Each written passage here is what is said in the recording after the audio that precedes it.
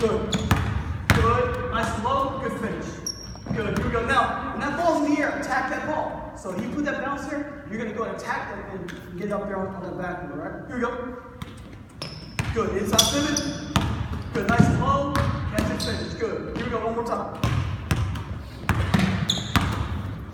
Good. Nice and low. Really simple, really simple, of time just working on that portion there. Um, that's how important I think that is. Okay. Now, what got